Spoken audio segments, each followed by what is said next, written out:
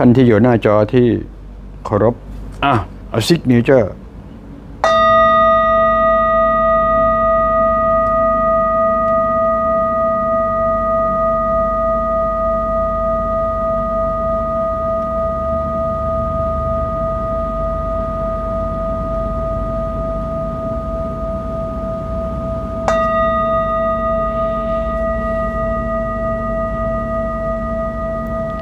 เป็นไง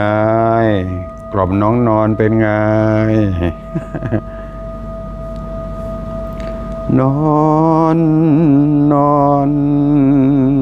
นอนเสียเถิดน้องนอน นอนฟังเสียงลุงเคาะเป้งก็หลับสบายหายใจสะดวกเลยนะจ๊ะนะจ๊ะ